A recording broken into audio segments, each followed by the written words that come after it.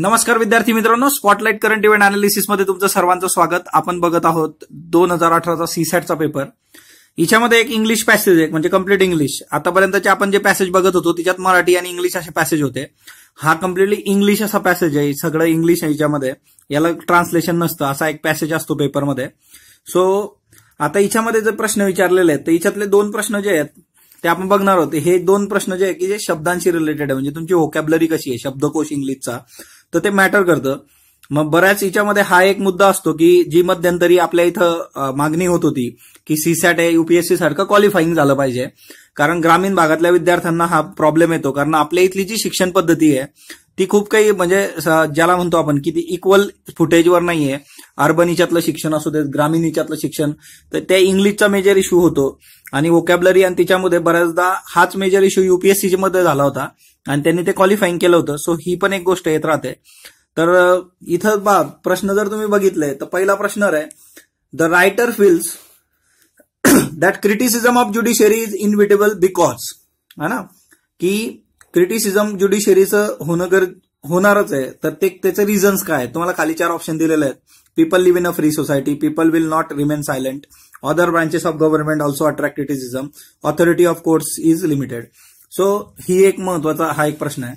दुसरा आहे की उमरेज मीन्स आता हा शब्द आहे म्हणजे ह्या शब्दाची तुम्हाला ओकॅबलरी माहीत पाहिजे याचा अर्थ माहीत पाहिजे. उमरेज शब्दाचा अर्थ होतो की राग येणं की एखादी गोष्ट पर्सनली घेणं अँगर असा त्याचा अर्थ होतो.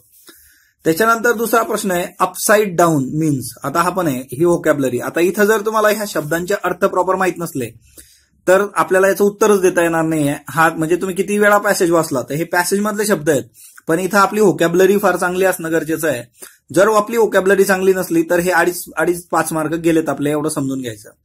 मग याच्यासाठी एक गोष्ट असते की तुम्ही मेन्स करता एमपीएससीच्या मेन्स करता इंग्लिशचा अभ्यास करता त्यावेळेस तिथं पण होकॅबलरी केली जाते. आपण शब्दांचे अर्थ वगैरे करतो तर ते जर तुम्ही त्याची पकड चांगली असली तर नक्कीच तुम्हाला इकडे फायदा होईल. दुसरी महत्वाची गोष्ट की तुम्ही जर पॅसेज नीट वाचला तर तिच्यामधून पण तुम्हाला त्याचा अर्थ कळतो. पण इथं कसं आहे की आपण खालच्या ऑप्शनचा अर्थ तुम्हाला माहीत पाहिजे. कारण इथं एबीसी ए एबीसीडी ऑल म्हणजे या शब्दाशी मिळते जुळते किती शब्द आहेत हेही कळणं फार गरजेचं असतं. पण तुम्ही पॅसेज जर नीट वाचला तर तुम्हाला अशा शब्दांचे अर्थ तिथं कळतात. पुढचा प्रश्न आहे which analogy are you was used for the जजेस in the spy catchers case म्हणजे तिथे केस दिलेली असेल तिच्यातल्या जजेस करता कुठली अॅनॉलॉजी किंवा कुठला शब्द किंवा त्या वापरला गेला हवा. The Supreme Court invited Justice Katju to defend his statements but then what did court do आणि त्यांनी बोलवलं होतं डिफेंड करायला स्टेटमेंट्स नंतर काय केलं? Took offence took offence and ask him to go away insulted him by asking the security to remove him exhibited public confrontation jail him so अशा पद्धतीने हा पॅसेज आहे. तुम्हाला मी एक सांगून देतो. मी आपले जे रंजन गोगोई आलेले आहेत नवीन चीफ जस्टिस तर रंजन गोगोई यांच्यावर पण मी एक व्हिडिओ केलेला आहे तो तुम्ही बघा. रंजन गोगोई ज्या यांनी यांना बोलवलं होतं काटजूंना हा सगळा जो इन्सिडंट आहे हा जो पॅसेज आहे खूप याला हिस्ट्री खूप भारी यायची ती तुम्ही वाचू शकता. रंजन गोगोई यांनी ह्या केसमध्ये ही जी केस आहे Soumya case of Supreme Court तिच्यामध्ये काटजूंनी जे काही क्रिटिसिझम केलं होतं त्यासाठी यांना कोर्टात बोलवलं होतं समन्स पाठवून. ही पहिली वेळ होती की सुप्रीम कोर्टाच्या एखाद्या माजी जजला तुम्ही असं कोर्टामध्ये बोलवत आहे सो हे घडलं होतं आणि हे करणारी महत्वाची व्यक्ती म्हणजे रंजन गोगोई आहे जे आताचे चीफ जस्टिस आहे. सो हा पॅसेज त्याच्याशी संबंधित आहे. In the Soumya case of Supreme Court acquitted the accused for murder but convicted him to life imprisonment for rape which Justice Katju criticised in his writing so Soumya case जी होती तर जो accused होता मर्डरसाठी त्यांना convicted him to life imprisonment for the rape आणि तिच्या त्याला criticise केलं गेलं होतं की तो जो निर्णय सुप्रीम कोर्टाचा वर्डिक्ट होता त्याला. द सबसिक्वेंट इन्सिडेंट्स वर only unwarranted the court invited the former जज to defend his statement in a person शेवटचा प्रश्न होता की त्यांना बोलवलं होतं डिफेंड करायला. Then choose to take umbrage at his writing you should a contempt notice against him then ask security staff to escort him outside the premises why did the court have to go through this theoretical theatrical public confrontation then it it could have issued a content notice on the basis of blog post alone आता शेवटचा प्रश्न बघूयात आपण. आपला जो प्रश्न होता शेवटचा तिच्यात विचारलं होतं बा Supreme Court invited justice caste to defend statement but then what did court do took offence and ask him to go away insulted him by asking security to remove him आणि एक्झिबिटेड पब्लिक कन्फर्ट्रेशन ह्या तीनही गोष्टी तिथे झालेल्या आहेत. तुम्ही जर पहिल्याच पॅसेजमध्ये याचं उत्तर मिळतं. जेल डीम तर जेल्ड वगैरे झालेलं नाहीये. त्यांना कोर्टातून बाहेर काढून देण्यात आलं होतं. हे तुम्हाला इथं दिसलं क्लिअर तरी आपण पुढचा पण पॅसेज बघूया की तिच्यामध्ये कुठं आपल्याला असा ऑप्शन मिळतो का की जेल झाली आहे. The second aspect is even more troubling the relevance of contempt law in free society where criticism of a judiciary is inevitable म्हणजे बा जर फ्री सोसायटी आहे सेकंड ऍस्पेक्ट काय याचा? की contempt of law free society आहे criticism of judiciary inevitable आहे. Free सोसायटीमध्ये एखाद्याची टीका टिप्पणी होणार आहे. जजेस have vast powers and people will not remain silent about exercise of such powers जजेसकडे खूप ट्रिमेंडस पॉवर्स असतात खूप वास्ट पॉवर्स असतात आणि तेव्हा त्यांचा वापर होईल तर लोक शांत बसणार नाहीत. Just decision of other branches of government attract criticism आता गव्हर्नमेंटच्या बाकीच्या ब्रांचेस पण क्रिटिसिझम अट्रॅक्ट करतात. Judicial decision would also invite the same म्हणजे जरी इंडिपेंडंट कोर्ट सिस्टम आहे सगळं आहे तरी सुद्धा फ्री सोसायटी आहे. आणि वास्ट पॉवर जेव्हा वापरल्या जातील जजेसद्वारा तर लोक सायलेंट बसणार आणि ते क्रिटिसाइज करतील याला. सो हा एक महत्त्वाचा मुद्दा आहे ज्याच्यावरही आपल्याला प्रश्न विचारला गेलेला आहे. The writer feel that criticism of judiciary is inevitable because people live in a free society yes आहे तिथं. People will not remain silent vast power वापरल्या लोक शांत बसणार नाही. Other branches of government also attract criticism yes we know सगळ्या criticism तिथं दिलेलं आहे वाक्य. Authority of court is limited no जजेस हॅव वॉस्ट पॉवर्स लिहिलेलं आहे तिथं. सो तिसरं डी नाही आहे. डी नाही आहे. D so answer is A B C तीनही स्टेटमेंट बरोबर आहे. पॅरा सेकंड बघा. पॅरा सेकंडमध्ये तुम्हाला हे सगळं सापडतं. Free society people will not remain silent आणि other branches of government attract criticism so answer is four पुढचं बघा.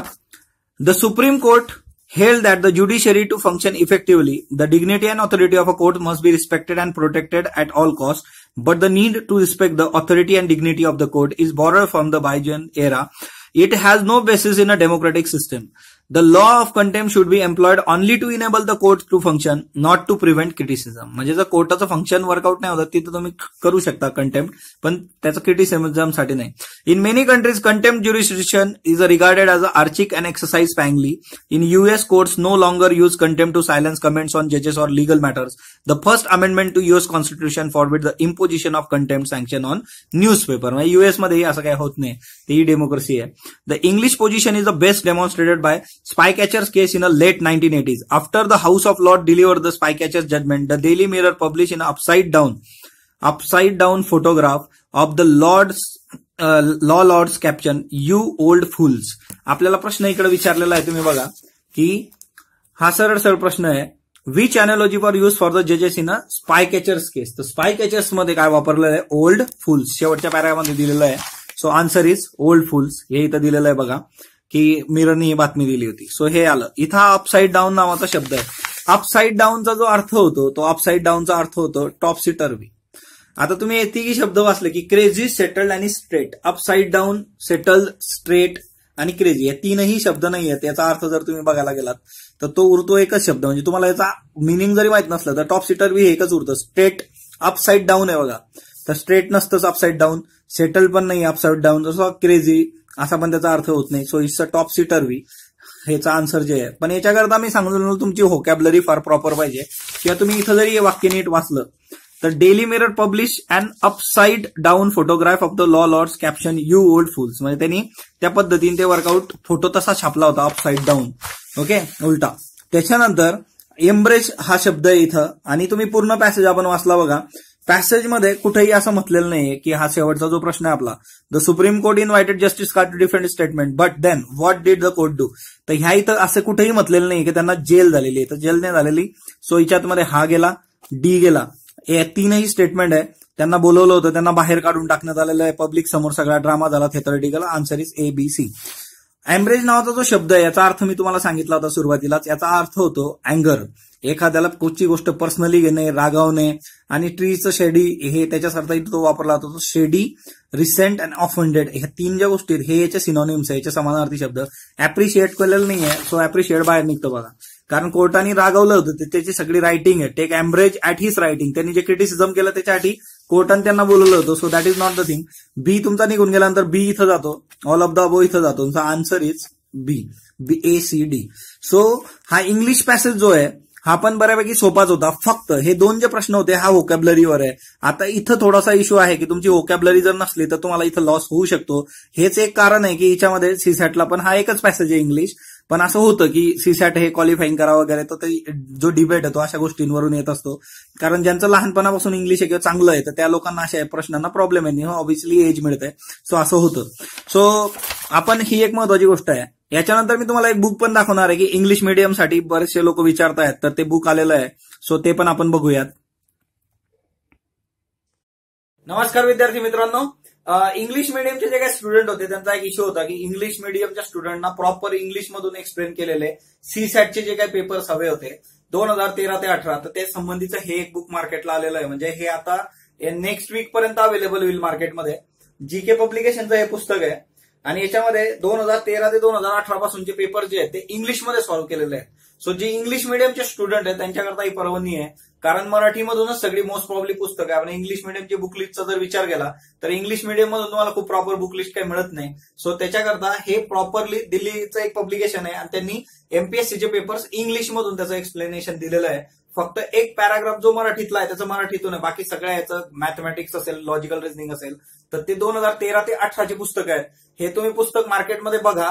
खात्री करून घ्या. आणि त्याच्यानंतर तुम्हाला याचा नक्कीच फायदा होईल. जे इंग्लिश मिडियमचे स्टुडंट आहे त्यांच्याकरता. या पब्लिकेशनचा एक सीसॅटचं पण बुक आहे. पण मी तुम्हाला हे सजेस्ट करेल की बेसिकली इंग्लिशच्या पोरांनी हे टू थाउजंड थर्टीन टू एटीनच्या एक्सप्लेनेशन पेपर प्लस याच्यात अजून जास्तीचे पण पेपर्स आहेत ते तुम्ही बघू शकता. सो स्पॉटलाईट बरोबर जोडलेलं राहा. तुम्हाला अशाच पद्धतीने आम्ही अपग्रेड करत राहू. स्पॉटलाईटला लाईक करा शेअर करा सबस्क्राईब करा. जर तुमचे काही सजेशन्स असले तर ते कमेंट बॉक्समध्ये नोंदा धन्यवाद विद्यार्थी